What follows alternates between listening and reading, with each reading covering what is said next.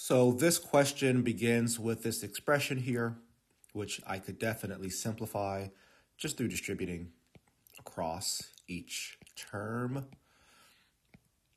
But let's see if that's going to be necessary. So the question says, if the given expression is rewritten in the form ax to the fifth plus bx to the fourth. Okay, so basically expanding. So I am going to have to simplify that. Where a, b, c, d, and e are constants, what is the value of d? Right, so d just being the x squared term.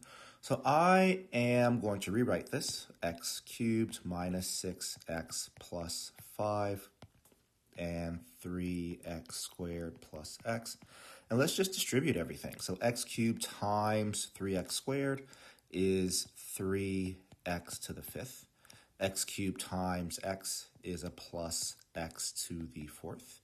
Negative 6x times 3x squared is negative 18x to the third.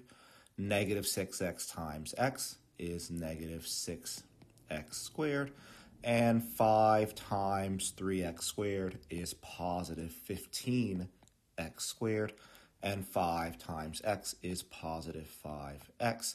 Because I'm looking for d, the coefficient in front of x squared, I'm not going to really concern myself with anything except for the x squared terms. So what I have here is negative 6x squared and positive 15x squared.